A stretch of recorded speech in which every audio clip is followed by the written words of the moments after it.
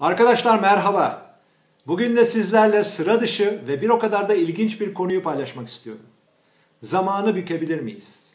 Zamanla oynayabilir miyiz? Yavaşlatıp hızlandırabilir miyiz?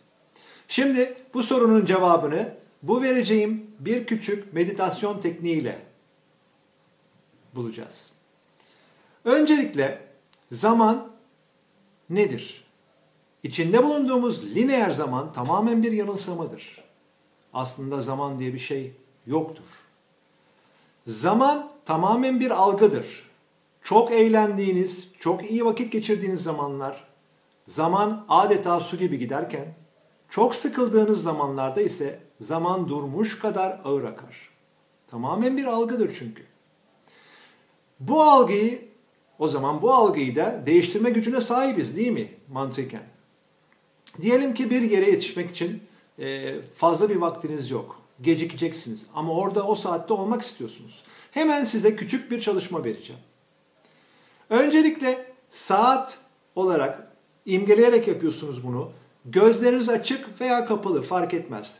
Bu sizin seçiminize kalmış bir şey. Sağ tarafınızda, suratınızın sağ tarafında, gözünüzün biraz önünde bir saat imgeleyin. Gideceğiniz yerin saat kaçta olmanız gerektiğini oraya programlayın. Diyelim ki saat 7.45, 8'e çeyrek kala orada olmanız gerekiyor. Onu oraya koyun ve programlayın. Bilinçaltınızı orada o saatte olmanız için programlayın. Onun yanına daha büyük bir e, saat imgeleyin gözünüzün önünde. Bunu e, akıldan çiziyorsunuz. Orada imgeliyorsunuz. 12 tane rakamı var.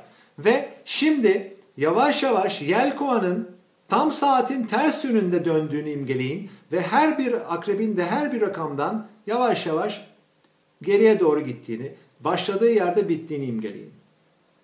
Bunu bir kez, bir kez yapıyorsunuz. Hemen sağdaki o e, kurmuş olduğunuz alarma bakıyorsunuz.